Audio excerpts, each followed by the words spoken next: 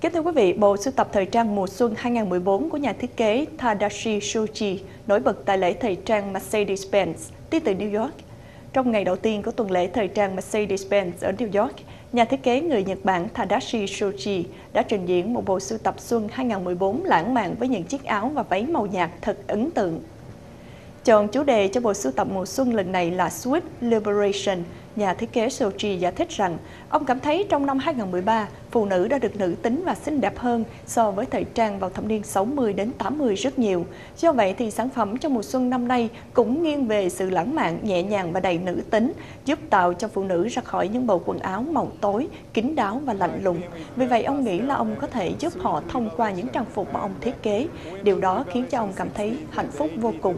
Trên tinh thần này, ông giới thiệu một bộ sưu tập với các màu hồng nhạt, trắng ngà, vàng, hoa oải hương và bạc hà màu xanh lá cây.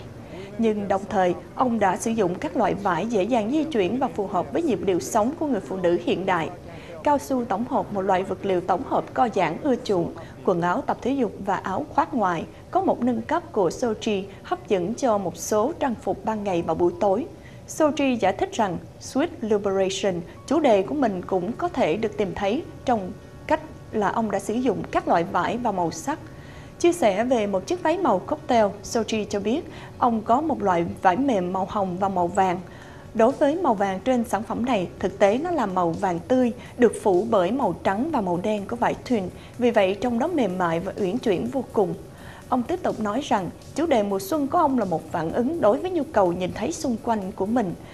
Như là một nhà thiết kế và một doanh nhân, đó là công việc của mình để thừa nhận những nhu cầu và đáp ứng phù hợp. Sochi, người sinh ra ở Nhật Bản và nghiên cứu thiết kế tại Hoa Kỳ, có trụ sở tại Los Angeles.